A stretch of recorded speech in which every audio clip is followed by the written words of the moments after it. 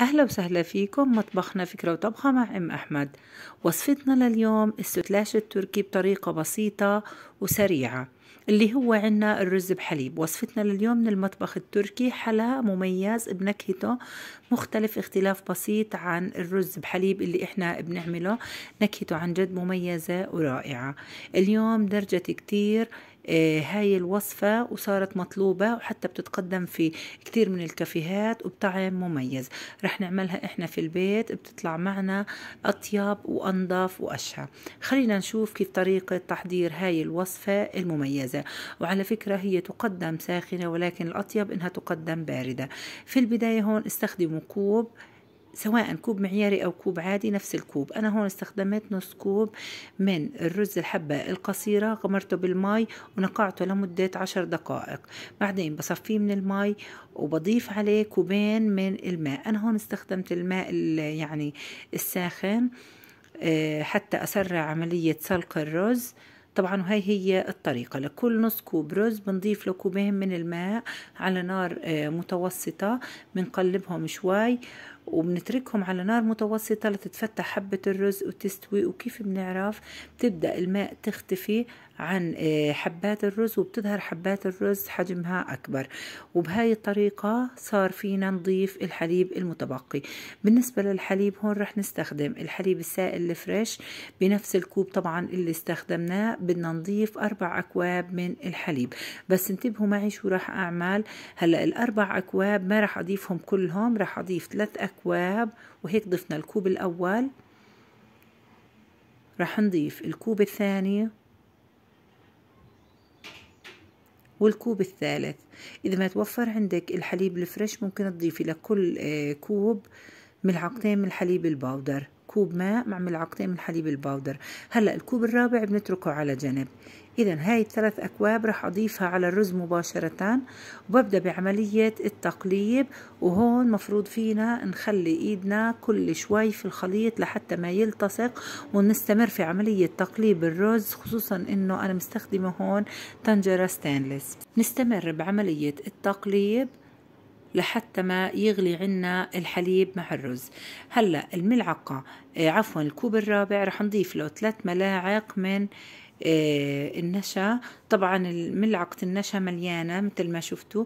ثلاث ملاعق من النشا بقلبهم كتير منيح مع كوب الحليب اللي ضل هلأ أثناء عملية التقليب بننتبه إنه آه، بلش عنا يسمك الحليب مع الرز.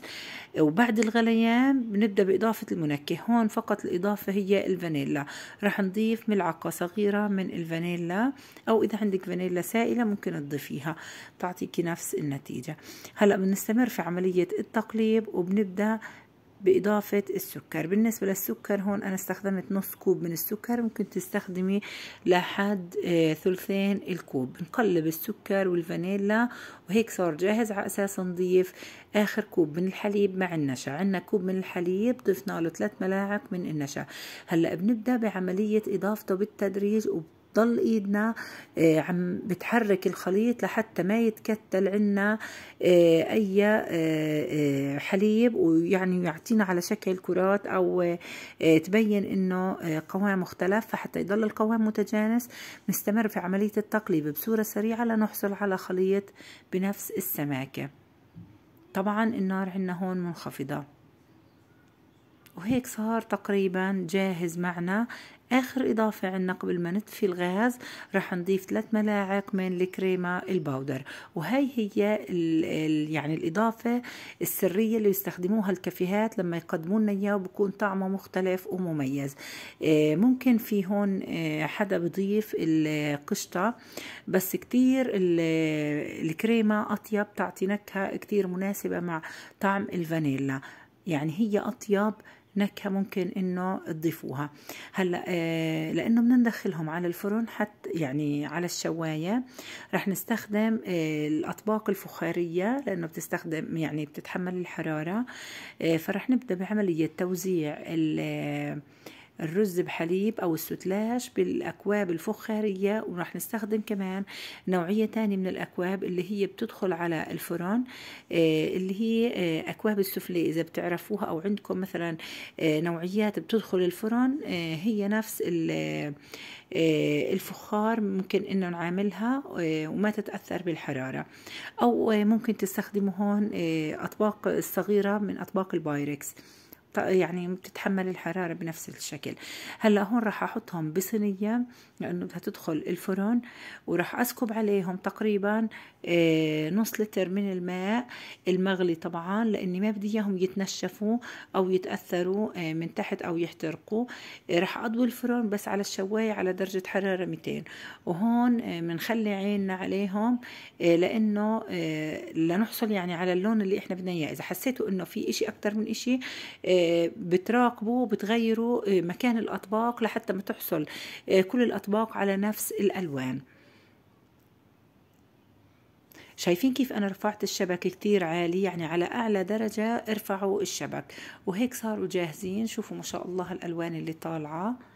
مباشرة بطلعهم من الصينية وبحطهم على آه، فوطة مطبخ حتى يبردوا. وهون بدنا نتركهم يبردوا برا آه، يعني بالهواء.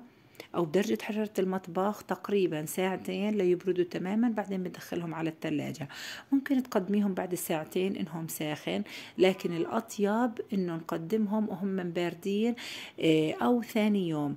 ممكن تعمليهم بالليل لثاني يوم تقدميهم. بتزينيهم بأي نوع من المكسرات هون؟ إحنا زيناهم بالفستق الحلبي. طعمهم عن جد روعة وبشهي. إيه لو تجربوهم متأكد إن شاء الله إنها رح تعجبكم هالوصفة. ولاحظوا معي هون المقدار اللي عملناه طالع ما شاء الله مقدار عائلي يعني.